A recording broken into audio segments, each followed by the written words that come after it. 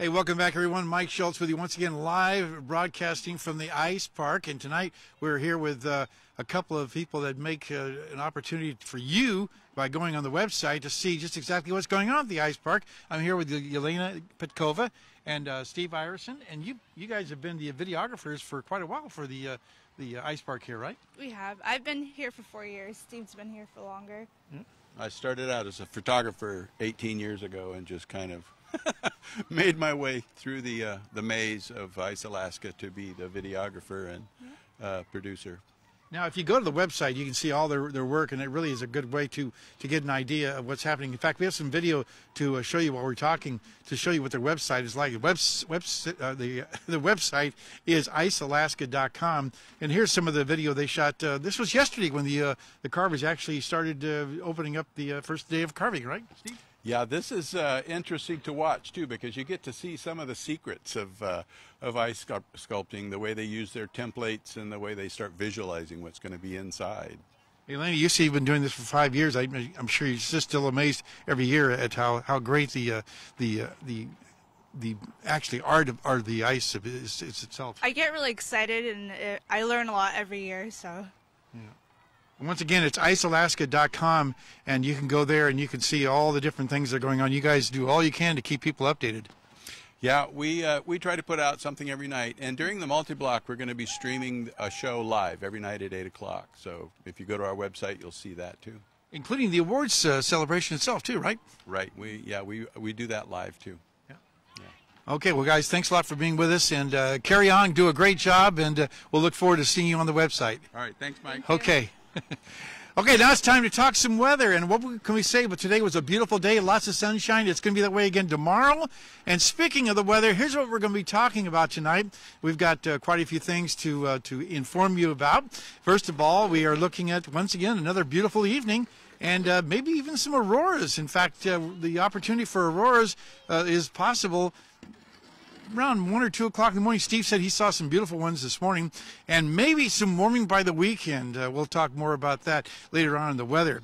And speaking of what's going on in the satellite picture, we'll take a look at that and show you that we're looking at more clouds moving up from the south. That may be an, an omen of things like the uh, the old high pressure that's been sitting over us is starting to break down. Should be allowing more clouds and moisture in the the uh, picture.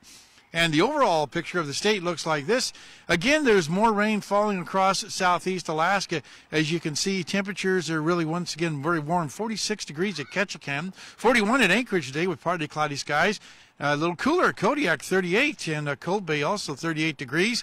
Uh, you jump over the Aleutian chain, you go to Bethel where it's 38, and 28 degrees at Nome. Barrow at 9 degrees below zero, dropping down the cold air again, and Fort Yukon at 21. Lower 48 weather, more activity moving across the central and eastern plains. Look at the storms uh, moving across with that area of low pressure across the uh, Great Lakes, bringing with it some scattered thunderstorm activity. A new system moving across the Pacific Northwest, bringing some activity there there. In fact, uh, as you can see here on our next mo- uh, graphic, where you can see they're looking at a, another frontal boundary moving onshore in the Pacific Northwest, bringing rain and wind once again all up and down the west coast and mountain snow showers. And the overall outlook for the uh, five day, or actually into the weekend, for the uh, jet stream, again, way up to the uh, north on the western side of the country and down to the south uh, on the eastern side, which means warmer temperatures to the west, cooler to the northeast. Okay, time once again for our kids' weather. And this week we are talking with the kids from Anne Wien Elementary School. And tonight we have a young lady with a very nice picture she's drawn. So one day I was walking I was walking with my friend Cameron and it was really sunny. Then all of a sudden it started get the clouds started getting amber gray. Then the it started drizzling rain, and then sprinkling, then it started pouring rain, as like right here. And so we ran back to her house, and we were really wet. Thank you, Layla. Very colorful. And as always, thanks to the good folks at Mount McKinley Bank for sponsoring our kids' weather every night. Tomorrow night, we're going to have a young man here. He'll be uh, having an interesting question, as always, about weather. Oh, let's take a look about the uh, take a look at the weather across the state for tomorrow. For the northern sections, partly cloudy at Barrow, just some high clouds for Nome, and mostly sunny skies in Fort Yukon. In the interior, probably the best weather in the state. Again, lots of sunshine everywhere you look, and temperatures once again uh, fairly decent 28 degrees at Fairbanks and 36 degrees at Healy. Over southeast Alaska, maybe some rain in the picture, but for the most part, uh, looks like more sunshine is moving back into the to the area there with 45 degrees for Ketchikan. Over the southwest part of the state, not too bad.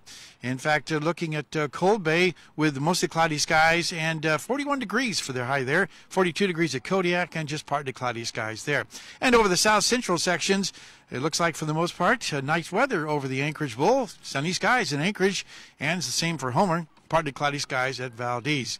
Taking a look at the numbers at the airport today, our high temperature, well, what do you think? 30 degrees, and uh, the overnight low last night zero. The record high 53. That was in 1938. The record low 49 below 1956. Sunrise and sunset 10 hours and 12 minutes of daylight, a gain of seven minutes from yesterday.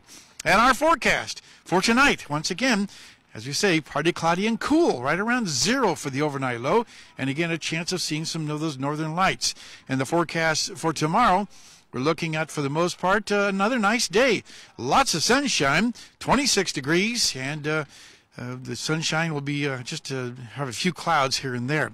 And the five day outlook, you got to love it. Temperatures warming back up again by Saturday, Sunday, and Monday to the mid 20s. Overnight lows will be in the teens, and then starting off uh, at the teens, and then dropping or warming back up again to the low teens, or I should say low single digits below zero uh, for Sunday and Monday.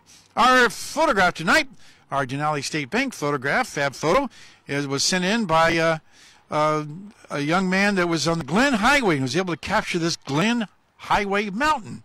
And again, thanks to uh, those folks. If you have a photograph, send a photograph to photos at ktvf11.com. And that will do it from the ice park. We're starting to get a little cool. We have lots of uh, families here tonight.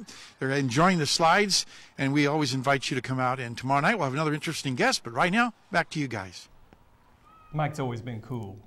That'll wrap up this edition of the Fairbanks Evening News. We are glad you could join us. Tonight on NBC Nightly News, the FBI and Apple Corporation faced off today at a congressional hearing on the locked iPhone. That's next with Lester Holt. You can join us here six days a week at 6 and 11 or online anytime at webcenter11.com. From all of us here at the News Center, have a great night.